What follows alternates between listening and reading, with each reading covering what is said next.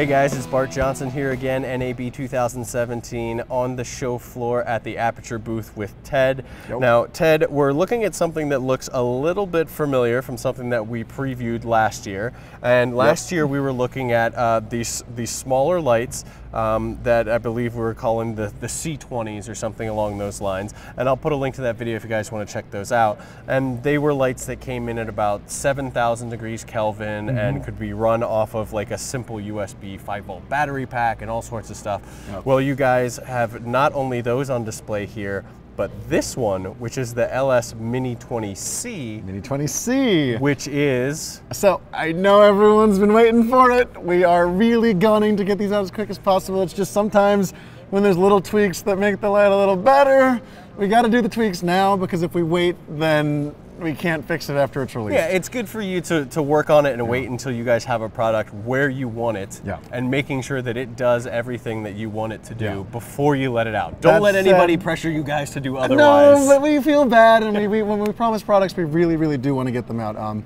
so we have worked as fast as we could. This is basically the Mini 20C. This is now the bicolor version of the Mini 20D light. And that's the kicker, and that's why I wanted to come and look at this particular one um, because you guys have been doing some videos on your YouTube channel with with the uh, the, D. the D and all that stuff, and seeing that there's a C which is bicolor. Yeah. I really enjoy working with bicolor because I find myself in mixed lighting environments a lot. Totally. Some people like the you know double the output by having a dedicated color, but I think this Yeah. is really cool. I think something like this would be really useful for me and probably a lot of other people out there. For run and gun stuff, every wedding shooter has done outside daylight into the chapel. Exactly. Tungsten. I mean, how many times have you done that? You know, you go outside into someone's house, daylight, tungsten, tungsten, daylight.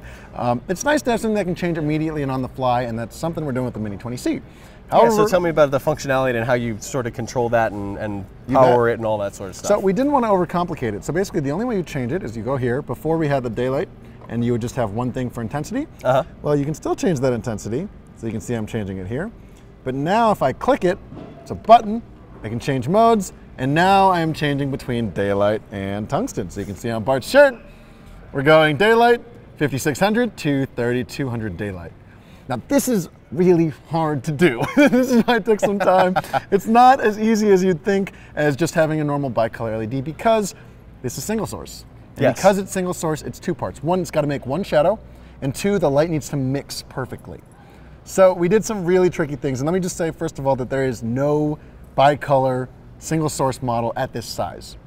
And that's because traditionally to do a bicolor single source LED, you have one big 3200, one big 5600, and you try to mix them, Yeah. and then you get two shadows because you got two LEDs. Hmm, two sources as opposed to a single. Exactly. So a couple things are happening here. One, we have on the outside, it's kind of a ring. Okay. It's basically a 10,000 Kelvin. So it's blue. And on the inside, we've got a 3200 Kelvin. Okay. Basically, the two of those make sure that it stays one single source.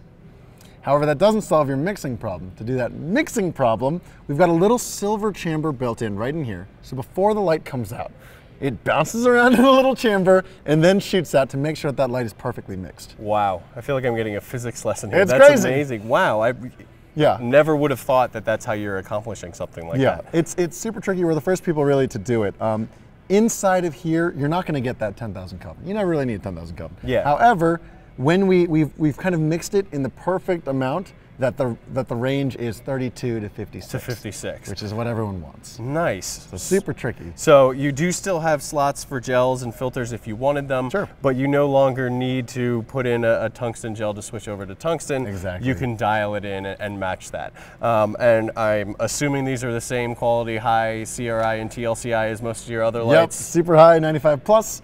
Um, I will mention if you're choosing between the daylight or the bicolor, you do have to know that your bicolor is going to be about half as bright. It's Okay. just something to keep in mind. Yeah, and, and that's sort of what I was mentioning along the lines of, you know, bicolor gives you that flexibility in color temperature, but if you're really looking for output, usually the, the, the single temperature lights are, are the way for you to go. Exactly. Uh, they are super punchy. Uh, the daylight ones are about the equivalent of a 150 watt tungsten light. So super, super bright. Shapeable single source if you Yes. want to get those beams. Again, we did it last time, but I'm doing it on Bart's shirt. Yep, there you we want go. that Tron laser. It has an infinity wheel built in, so it's really, really easy to shape. You got four barn doors if you want to do a box. Um, really, really easy. I know we're just using your shirt That's right a now. good. That's a good cut. It's actually too. a really good. Uh, works it's a really great well. cut, actually. Um, just just to have that Yeah. laser, that slash. You want to put a little accent light, a hair light. Um, these are the perfect kit for that. Pricing we think is going to be about 200, and we're going to sell them in three light kits. That's great. Yeah. So it's 200 per light, and then you can have the option About of 200. getting. a- Pricing isn't fully set. well, yeah, of course. But so, uh, like a three light kit, you're looking at probably around 600 Yeah. range for Yeah, yeah, yeah. That's not that's not bad for what could essentially be a really portable uh, travel like interview setup or anything like that. And talking about the portability, I know we mentioned it last year, but just so people know, tell me about powering these guys. powering these guys. So on the back here, this reads 5 volt to 18 volt. So 5 volt means you can use basically any type of 5 volt, 5 volt, 5 volt your USB charger, your cell phone dongle. Uh, 18 volt is your Anton Bauer or your V-Lock batteries. So either of those will power it. And we've also given you an adapter so you can use Sony lithium and PF batteries. Oh, nice. Included in the kit. Um, we're really just trying to give you as many options as we can. I know online we did a little episode where we showed you how to use them and spin them. Yep. Those were attached on batteries. Um, keeping it all together though, I know you guys are waiting. We're, we're really trying to get them out. We're really trying to get them out and we're gonna get them out as soon as we can. We're sorry for kind of tugging you around and making you wait. Um, That's all right. I think Yeah. these would definitely be worth the wait. Um, I, I mean, just like all the others, I think these would be an awesome companion to a kit with uh, both your panels Yes. and uh, and your 120 lights. And then you know, if you just need one or two as a hair light or a kicker for something, Yeah. or if you want to bring them and do a complete three light interview setup in a small room with them, they're perfect for it. yeah. Honestly, if you're doing an on-the-run go- job, and you, especially if you diffuse these things, this could honestly be your three-light kit, and it could be it could Yeah. be half a backpack. will take three lights. Um, and again, the closest comparison to this price-wise, just for reference, would be kind of a Dedo light. Yes. Those are, I, I look, I freaking love them. They're awesome, but they're just so expensive. And at a certain point, you got to think, you know, is it realistic for me to buy a three thousand dollar? Your AC power only. Yeah. And you've got heat. You're dealing with tungsten lights, so there's a there's a ton of benefits here. We're trying to make it affordable, trying to make it for everyone. That's the goal. I think you guys are definitely on the right track and succeeding, and I think this is another product that proves that. So, guys, if you agree with me that they're on the right track, please let, please let Ted know. He's obviously really, really concerned about getting these products into your hands, which is a good thing to see from a For company. sure, we want to get them out as quickly as possible. But make sure to check out Aputure and keep an eye out for these lights. Uh, not only the bicolor version, but also the daylight version uh, that should be coming out soon. And I really think they're going to be great. So make sure to stay tuned to the channel, guys. I'm going to have a lot more coming from the show floor. Thank you for watching, guys.